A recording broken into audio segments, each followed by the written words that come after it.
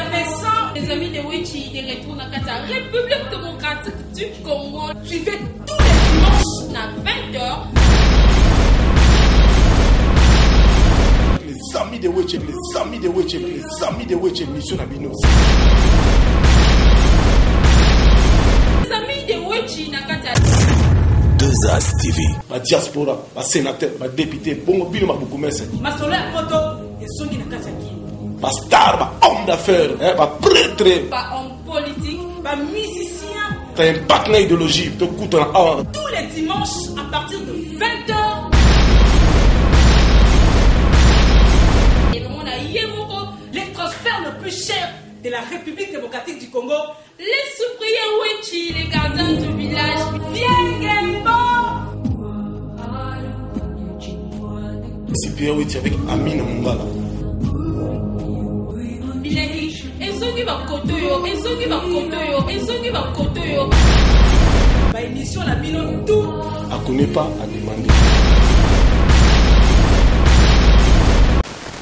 bamama batata bandeko epai nyonso bozali mbote eza oyo ya bino moko cyprien wechi avocat du diable message na ngai oyo ya lelo eza adresse plus particulièrement na Colonel Odombo, Boketshu Premier, Jacko Sayala, Commanda Esso. Ndenge nayebisaka bino biso ba les amis de Wetshi tozalaki na zando na 4 heures du matin. Tolobaka toujours zando ya mokili mobimba ebandaka na 5 heures du matin.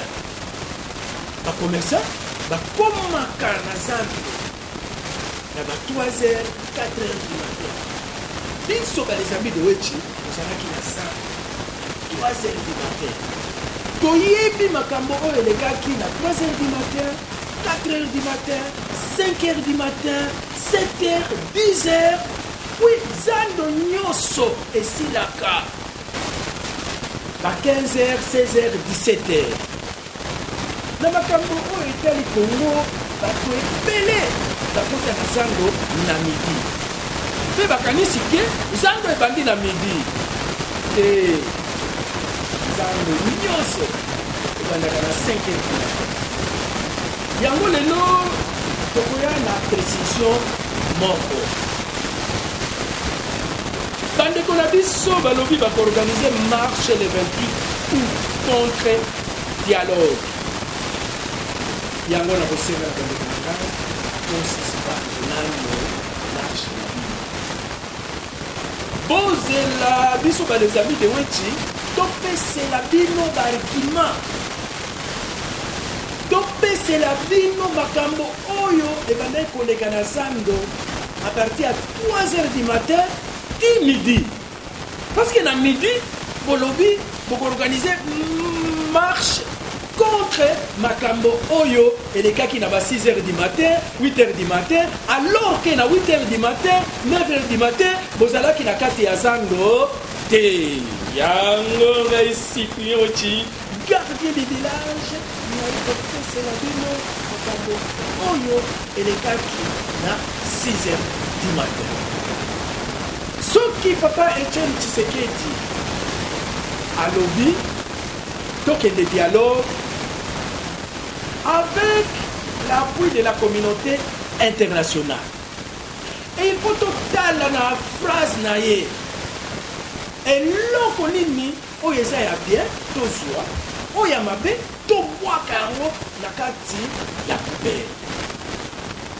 Mais d'emblai tobanda kofinga papa Etienne Tshisekedi sans b'arguments valables, sans pourtant ko demander papa Etienne Tshisekedi mpo na nini asengi dialogue.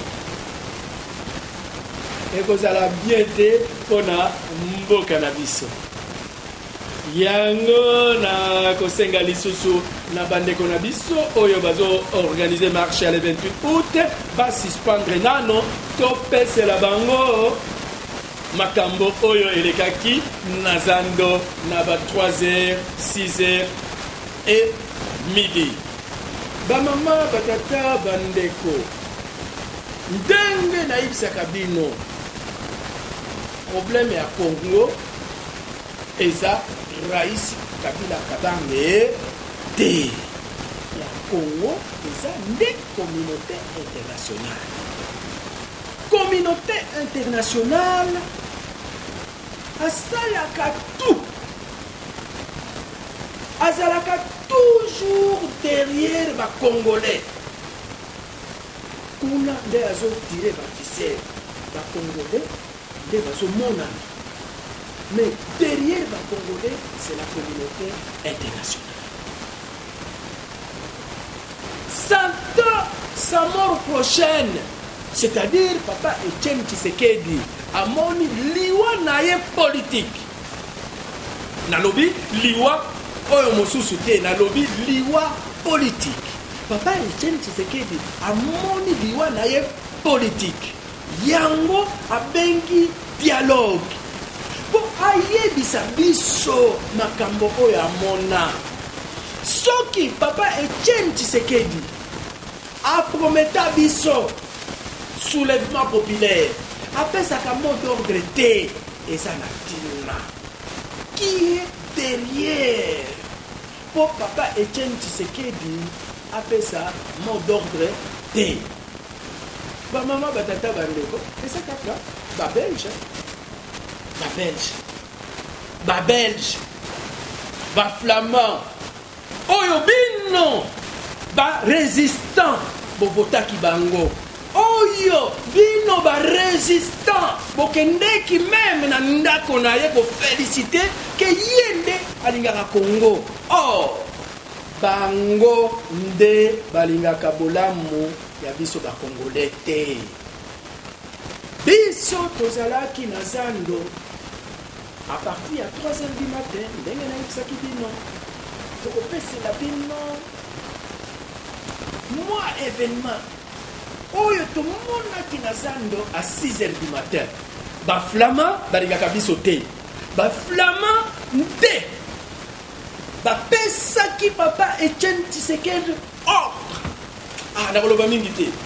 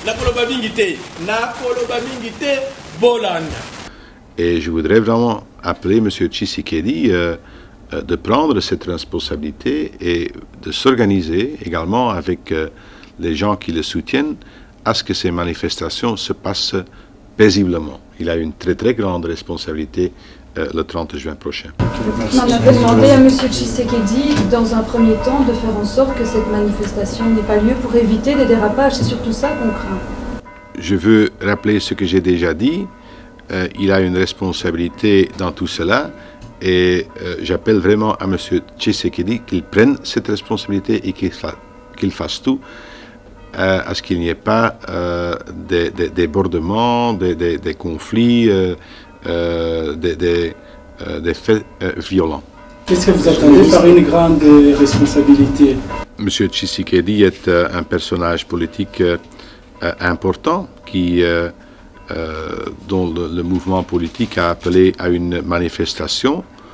Euh, et je pense que tout homme politique a une responsabilité parce que euh, les manifestations, il y a deux éléments. Il y a d'un côté, il y a les messages politiques qui doivent pouvoir s'exprimer. Il y a d'autre côté également la vie des, des, gens qui sont dans ces manifestations, la vie des, des, Congolais qu'il faut protéger, hein, qu'il ne faut pas mettre en péril. Et là, euh, euh, toutes les personnes politiques ont une responsabilité. Ça veut dire le gouvernement, ça veut dire l'armée congolaise, ça veut dire la MONUC, ça veut également dire M. Tshisekedi. Bowuti kolanda Deguilt? Deguilt aza un leader flamand. Ba mama, ba tata, ba ndeko, batu oyo bayebi geopolitique ya Belgique te, nako rappeler bino, nakoyebisa bino que na Belgique, Toza na deux communaute ba flamand na ba wallon. Ba wallon bazalaki na mbongo ebele koleka ba flamand. Et maintenant c'est so les flamand bakomi na mbongo ebele koleka ba wallon. Ba wallon nde ba Louis Michel, ba Flao. Alors ba wallon basalaki tout mpo ba récupérer Congo. Ba flamand Nde batu oyo bazo boya que Belgique e recuperer Congo parce que Congo eza pays francophone. Soki Belgique a recuperer Congo, ba minerais ya Congo, ba richesses ya Congo ekoya kopesa nguya na Wallonie. Yango ba Flamands bazo sala tout mpe basalaki tout Pe ba reussir mission na bango. L'heure Louis Michel batindi ye na Union Europeenne na Commission, Degilt Flamand aye kozua place ya Louis Michel. Abandi ko casser makambo nionso oyo Louis Michel abandaki kosala. Or biso ba Congolais lokola toyinaki Louis Michel, Topesaki appui na biso na Degilt, na ndoki. Et puis aye kobenga papa Etienne Tshisekedi, ayebisi ye ko donner mot d'ordre te. soki opesi mot d'ordre ya soulèvement populaire okozala responsable tokomema yo na cpi yango papa etienne tshisekedi adonaka mot d'ordre te mes chers amis Bolanda biso. Makambo oyo ba Flamands basalaki ezalaki na avantage na biso te. Ezalaki na avantage na bango. De Guilt, leur azui ministère des Affaires étrangères, ba Flamands ba remplacer pe Flao na defense. Ba casser ba biloko Nionso oyo ba walo babandaki kosala mpo na biso. Bazui titele ya Congo bapesi yango na Union Europeenne. Na influence ya ba Flamands bapesi yango na Nations Unies.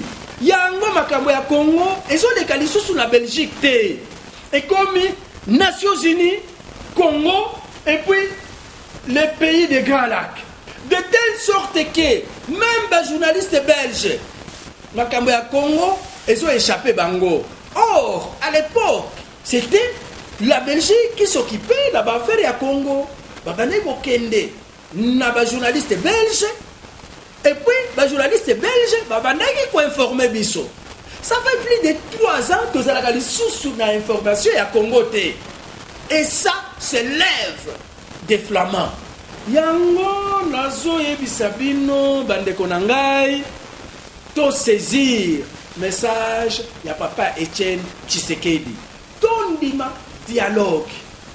Tosolola, totuna papa na biso parce que ayebi makambo ebele et puis biso ba peuple nde to aide papa Etienne Tshisekedi opposition majorite po tobimisa bango na boumbu oyo communauté internationale ati bango papa Etienne Tshisekedi akopesa biso ordre ya kobima libanda te.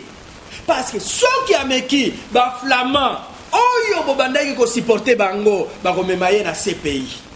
Bolanda lisusu, hein? bolanda lisusu leader de guilt oyo bino ba combattant bokendeki meme na village na ye bokomeli ye lettre ya kofelicite ke yo nde olingi congo olingi kolibere biso e dans l'entretemps na kuzu azopesa mot d'ordre na papa etienne tshisekedi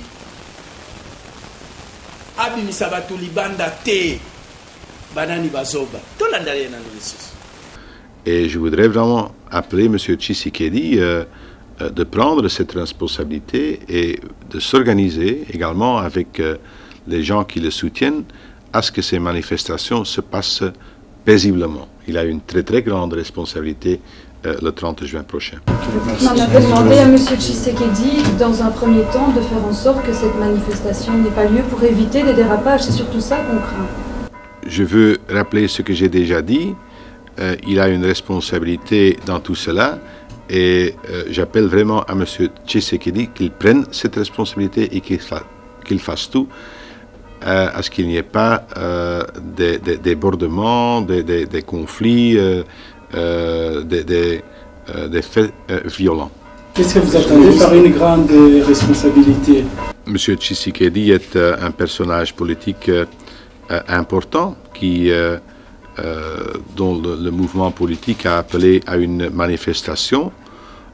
et je pense que tout homme politique a une responsabilité parce que les manifestations, il y a deux éléments. Il y a d'un côté, il y a les messages politiques qui doivent pouvoir s'exprimer. Il y a d'autre côté également la vie des, gens qui sont dans ces manifestations, la vie des, des Congolais qu'il faut protéger, qu'il ne faut pas mettre en péril. Et là, euh,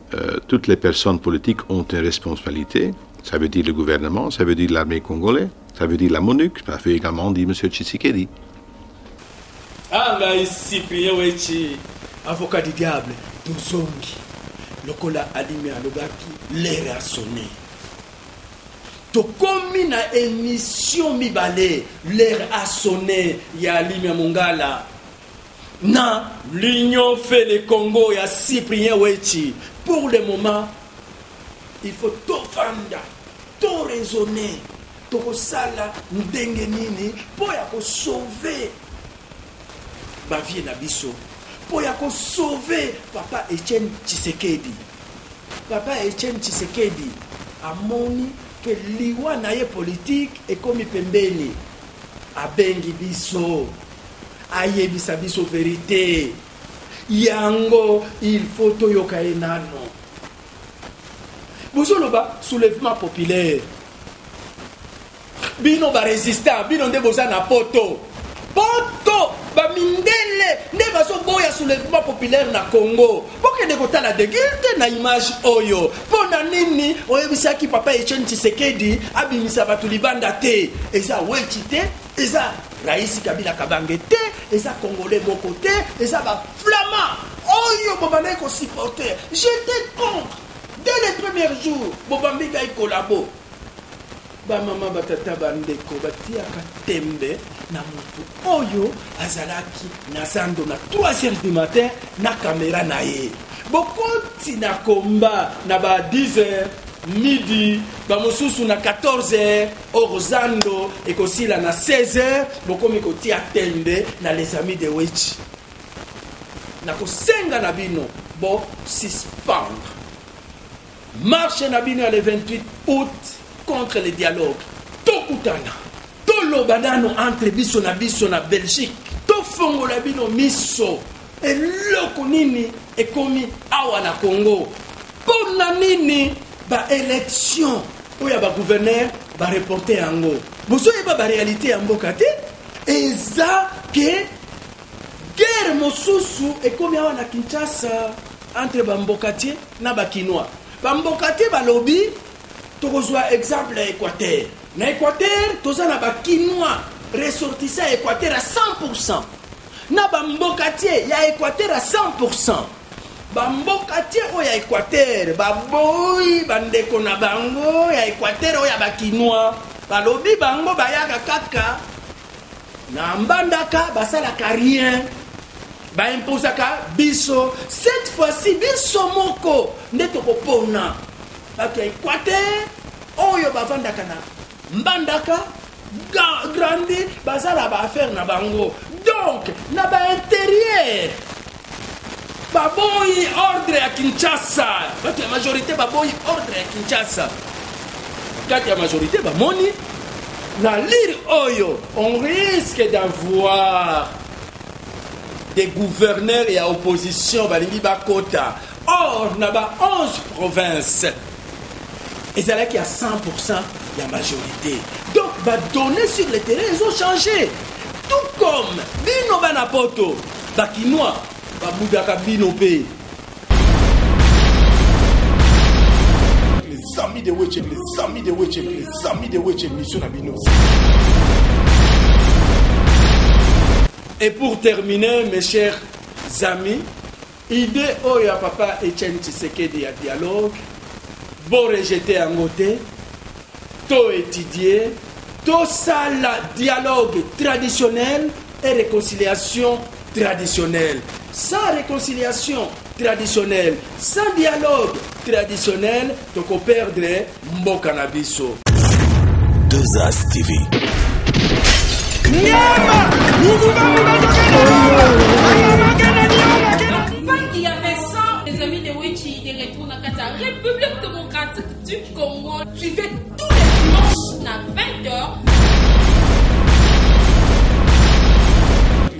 Sami de Weche, Sami de Weche, Sami de Weche, mission na bino.